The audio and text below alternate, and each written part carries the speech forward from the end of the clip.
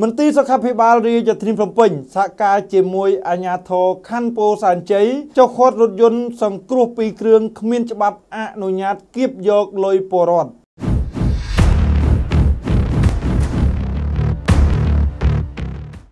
មន្ទីរសុខាភិបាលរាជធានីភ្នំពេញសហការជាមួយកម្លាំងគណៈបញ្ជាការឯកភាពខណ្ឌពោធិ៍សែនជ័យចោះចាប់ដកហូតរថយន្តចំនួន2គ្រឿងជាប្រភេទរថយន្តសង្គ្រោះបន្ទាន់ដោយគ្មានច្បាប់អនុញ្ញាតផ្កើនទៅនឹងសេចក្តីប្រកាសរបស់ក្រសួងសុខាភិបាលដែលដឹកអ្នកជំងឺតាមដងផ្លូវគៀបសង្កត់យកលុយពីប្រជាពលរដ្ឋការចោះចាប់យករថយន្តសង្គ្រោះខាងលើនេះបានធ្វើឡើងនៅវេលាម៉ោង8យប់ថ្ងៃទី15ខែឧសភាឆ្នាំ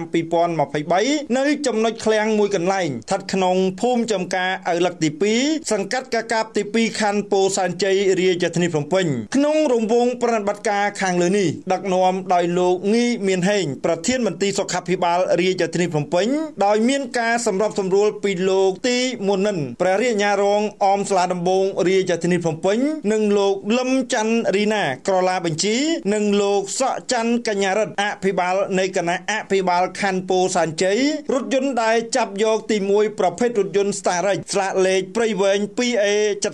7774 ទី2រថយន្ត Starrex ស្លាកលេខព្រះសីហនុ 2B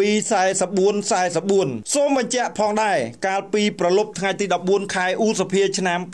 2023នៅត្រង់ចំណុចស្តុបសេះមាសស្ថិតក្នុងសង្កាត់ស្ទឹងមានជ័យទី3ខណ្ឌមានជ័យមានករណីគ្រោះថ្នាក់ចរាចរណ៍មួយរវាងរថយន្តធំ និងម៉ូតូ Honda Cup បណ្ដាលឲ្យនារីម្នាក់ស្លាប់នៅនឹងកន្លែងកើតហេតុភ្លាមភ្លាមបន្ទាប់មកក៏មានរថយន្តសង្គ្រោះរបស់មន្ទីរពេទ្យឯកជន ដោយមិនមានបិទស្លាកឡូកូសម្គាល់ clinic ត្រឹមត្រូវក៏បានដឹកសពជនរងគ្រោះយកទៅស្រុកកំណើតឯស្រុកគិរីវង្សខេត្តតាកែវដោយសញ្ញាតជនរងគ្រោះបានអះអាងថាបានចម្រិតទារប្រាក់ចំនួន